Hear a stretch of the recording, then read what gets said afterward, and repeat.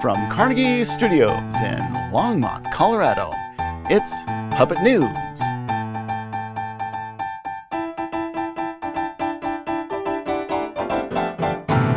Good evening. I'm Herman Hansen, and I just hope you're happy with yourself. And I'm Miranda Longerung. And this is Puppet News. Zero patience for the company of others? Anyone who's ever wanted their own private island getaway now has a chance, and it might be less expensive than you'd think. The only house on a small island in Rhode Island's Narragansett Bay, with the unique address of Zero Patience Way, has hit the market for an asking price of $399,900, the Newport Daily News reported Monday. The seasonal cottage on Patience Island is off the electrical grid, but comes with just under a half acre of land and approximately 600 square feet of living area that includes two bedrooms, a kitchenette, a half bath, and what is described as a picturesque front porch. A single solar panel does provide some electrical services. Perfect for comfortable camping, getaways, amazing Airbnb potential, and more, the listing from Rhode Island Real Estate Services says. The cottage also has a unique address Zero Patience Way. The island, officially part of the town of Portsmouth, is about one third of a square mile. According to property records, the cottage was built in 1972 and has been owned by the same family since. The EPA has taken over management of the spill of unleaded gasoline on Highway 36 at the Apple Valley Bridge Tuesday afternoon a tanker truck carrying the gasoline tipped over and began spilling the fuel into the St. Vrain Creek upstream of Lyons.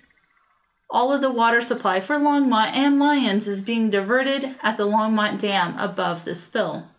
There are no current or expected impacts on the city's treated water supply, Becky Scholl, spokeswoman for Longmont's Public Works and Natural Resources, said via email. The EPA has robust water quality monitoring program underway, Scholl said. Staff has also closed the head gate to the Oligarchy Ditch so the impacted water will not flow through Longmont via the Oligarchy Ditch or reach Union Reservoir, the city stated Tuesday. The tanker truck was carrying over 8,500 gallons of gasoline and an unknown amount spilled into St. Vrain Creek, according to the EPA news release. There are also reports of significant fish kill three to four miles downstream of the spill, the EPA states. A German bomb squad called to investigate a suspected hand grenade in a Bavarian forest determined that the object actually was a rubber sex toy, authorities said Tuesday.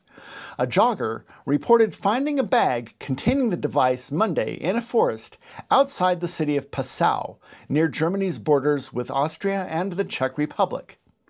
The discovery of forgotten or hidden munitions is still a regular occurrence in Germany more than 75 years after the end of World War II.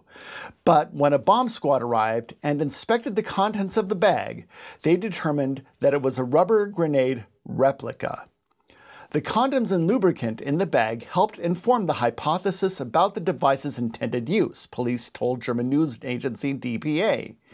An internet search confirmed the suspicion, police said. There are actually sex toys in the form of hand grenades.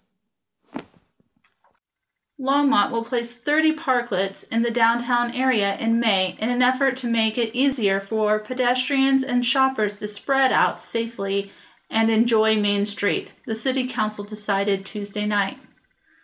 Council members unanimously voted to place the 5 by 20 foot parklets in parking lanes with supporting barricades separating them from traffic. Kimberly McKee, Executive Director of the Longmont Downtown Development Authority, or LDDA, told the Council.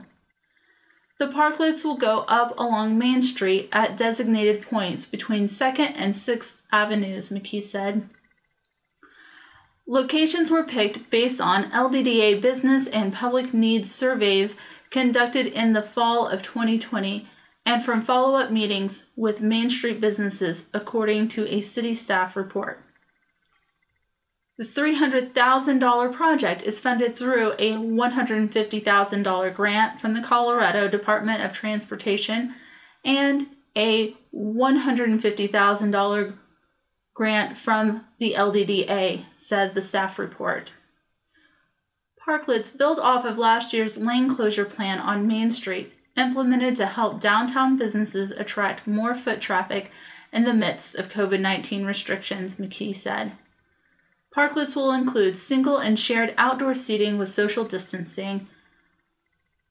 Local businesses will provide the seating. Parklets will be aluminum and can be moved to different locations according to demand, McKee said. Local artists will be used to beautify the parklets, which will be placed along Main Street from May 5th to October 31st. A fight over the name of Josh drew a crowd from around the country to a Nebraska park Saturday for a heated pool noodle brawl. It all started a year ago when pandemic boredom set in and Josh Swain, a 22 year old college student from Tucson, Arizona, messaged others who shared his name on social media and challenged them to a duel. Hundreds showed up at Air Park in Lincoln, a location chosen at random, to participate in the silliness.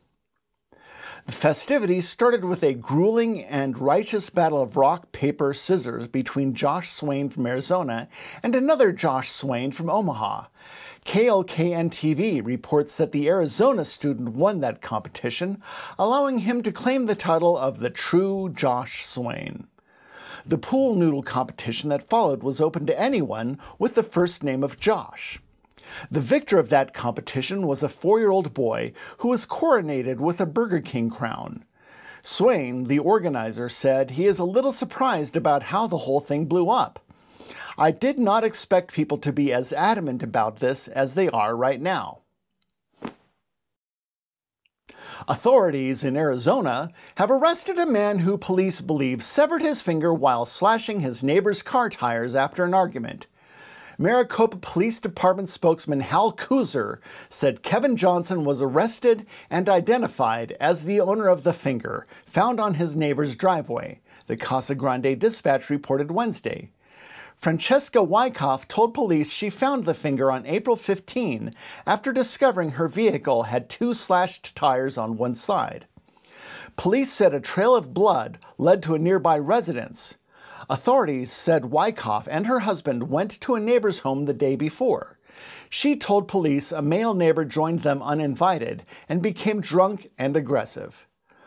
Wyckoff said the neighbor pushed and threatened her and her husband before being asked to leave. Johnson was arrested on multiple charges, including criminal damage, assault, threatening, intimidating, and disorderly conduct. Online court records did not list an attorney for Johnson who could comment on his behalf. The finger could not be reached for comment. Born out of a personal passion in their backyard, the Long Tucky Derby is a tradition that Abbott and Wallace Distilling co owners John and Stephanie Young have organized for half a decade, seeking to bring family, friends, and others in the community together. Visitors will be able to participate in inflatable Roddy relays or races on inflatable horse toys, as well as a derby hat contest for a chance to win a bottle of bourbon. Laura Ann Langfield, Longmont resident and hat designer, has been participating in the Long Tucky Derby since its inception. She has designed hats just for the occasion. The hat I wore on my first contest there is still the distillery. For us, the event gives a feeling like family. It's quaint, not a huge to do party like the Denver Derby party, and it's close to home, she said. With the return of events and parties post pandemic, Langfield hopes more opportunities will arise to do more of the work she loves, she said. Young said the tradition started five years ago at his house as something he and his friends enjoyed doing while watching the Kentucky Derby. It was just a house party we threw, and when we were making the final decision on the name change of the distillery, it was one way to get the public opinion and our friends' feedback. People could cast votes, and that is how horses or the toys would move along the track, he said.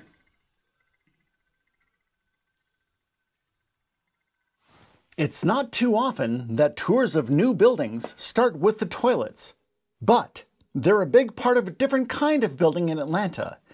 And so, Shan Arora, who oversees Georgia Tech's Kendeda building, troops visitors pretty quickly to a ground floor bathroom where the toilet begins to hum and then foam.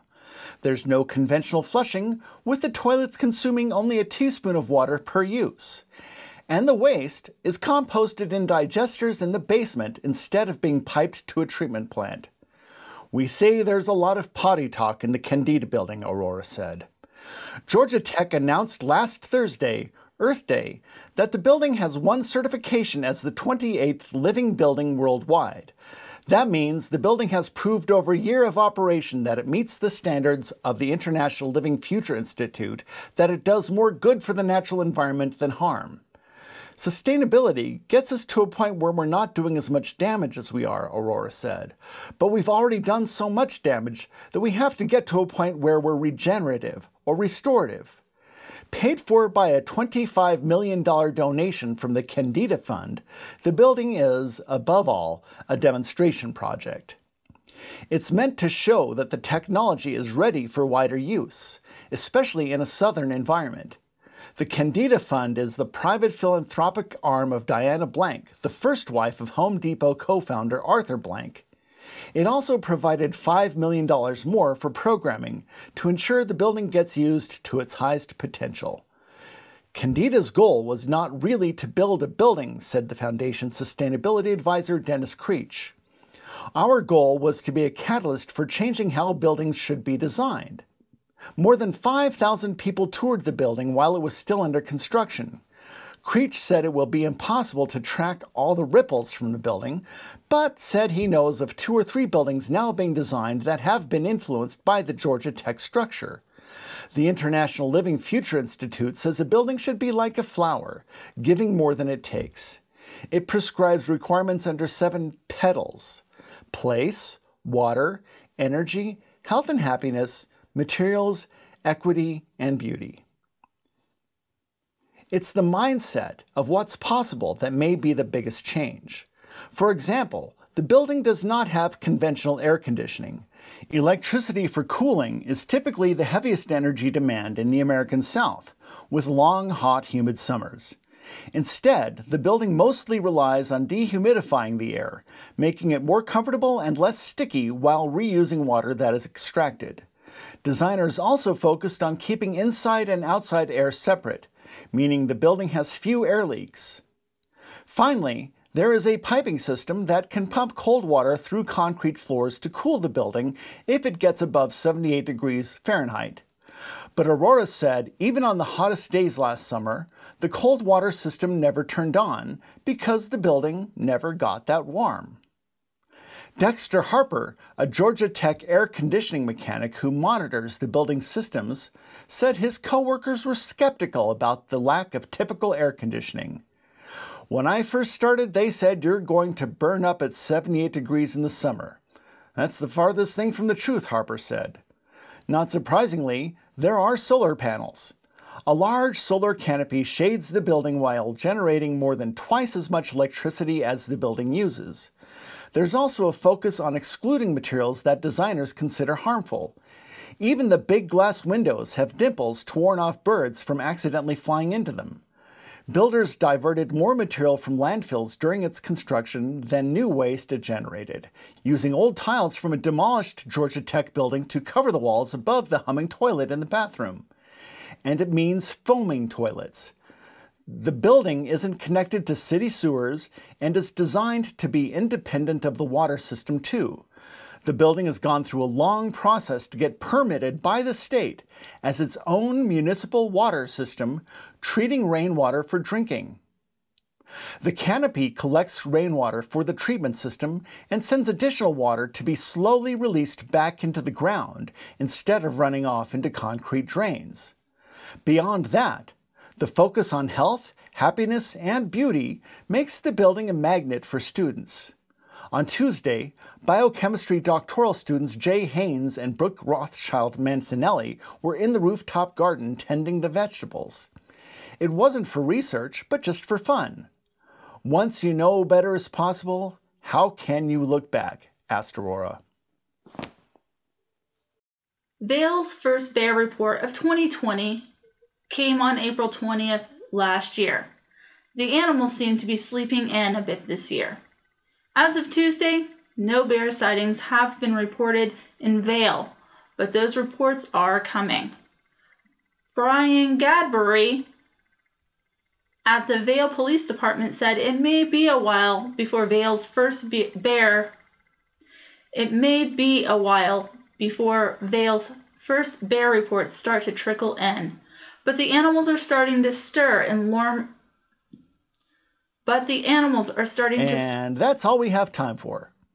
For Puppet News, I'm Hanson Man. And I'm Miranda Longerung. Good night.